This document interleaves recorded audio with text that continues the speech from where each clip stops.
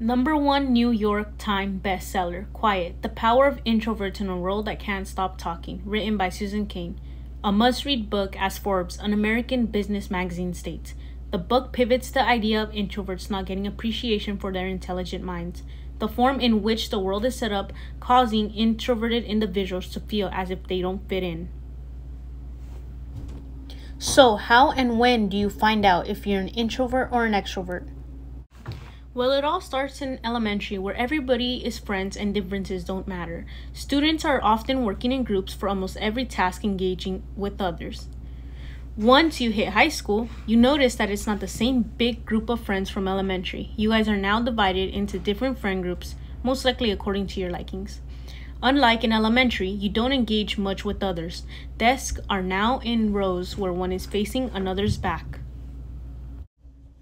These discoveries of your likings start to be explored as you get older, anytime from middle school to high school.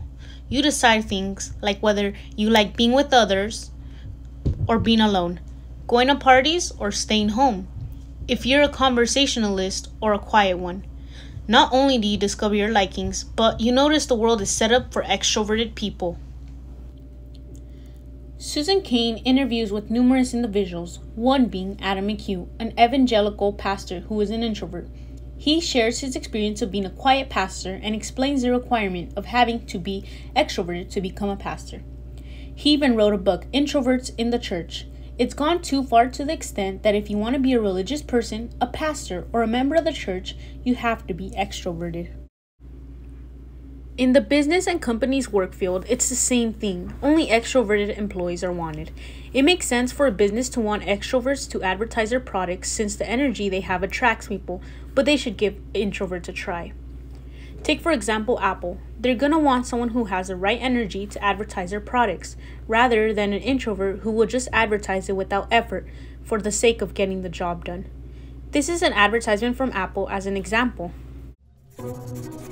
For the first time ever, iPhone 15 Pro and iPhone 15 Pro Max are made with aerospace grade titanium. Did you say titanium?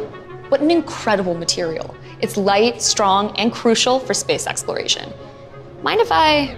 The male and female in this video have the right energy and attitude to advertise their product.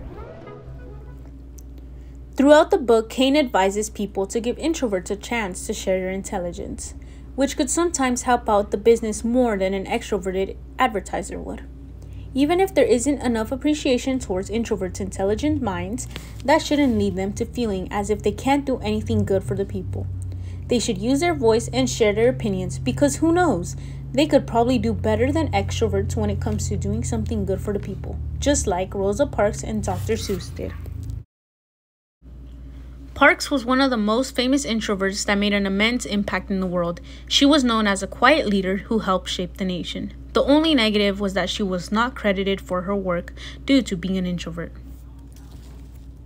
The New York Times published a magazine with the two front pages celebrating Martin Luther King Jr.'s role in the movement, but did not once mention Parks.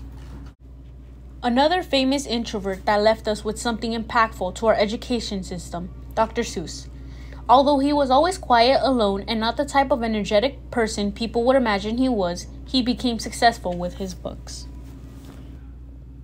Many people believe that the quiet ones have no knowledge since they hardly talk or put themselves out there. But it's not like that. Introverts and extroverts can be equally as intelligent and be equally appreciated. Read the book to learn more. Thank you.